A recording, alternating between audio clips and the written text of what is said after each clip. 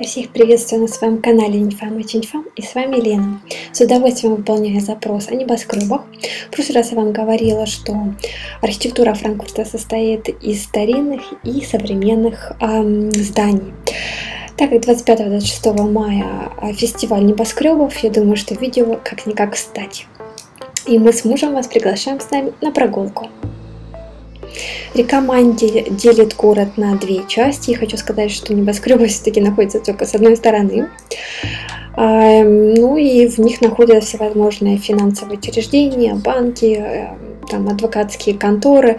Но по большей части все-таки банки это финансовый город. Я сделала общее фото, чтобы вы имели хотя бы какое-нибудь представление, как все выглядит вместе, с видом на центральную площадь Хауптваха. Это же здание известно не своей архитектурой, а его значимостью. ECB, European Central Bank, Европейский Центральный банк, определяющий финансовую политику Евросоюза. Скажу вам, что они в большом ожидании, так для них строится вот это новое здание. А мы с вами продвигаемся дальше. Tower 185, PVC или Green Tower, то есть башня 185. У подножия башни вот такая вот полуарка с магазинами. Название здания получила еще до постройки. Башня 185. И сохранила его. Несмотря на то, что к окончанию строения ее высота достигла всех 200 метров. При строительстве были по возможности использованы второсырье и местные материалы, и те, и другие экологически безопасные, откуда и вышло название «Зеленая башня». А также здание снабжено системой сбора дождевой воды, что экономит водопроводную воду. Тут же находится остановка метро Фестхали Мессе и уже соседний небоскреб называется Мессетом, выставочная башня Колонна. Башня получила свое название от соседних выставочных зданий, но сама ярмарка зданий не производится, как ошибочно думают многие люди.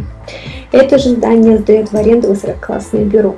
Характерной чертой этой башни является, конечно же, ее заостренная крыша, как у пирамиды или карандаша.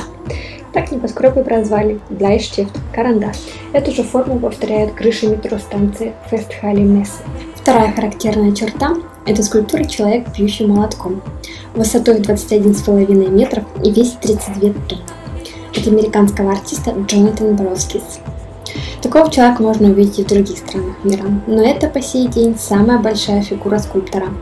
Так как весь мир видит немцев работягами, вот и скульптор символизирует рабочий мир и неустающего работника.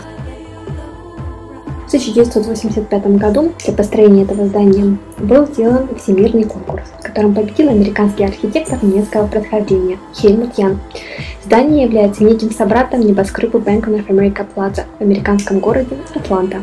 После своей постройки в 1990 году небоскреб был самым высоким в Европе. Сейчас же является третьим по высоте зданием в Германии и Европейском Союзе.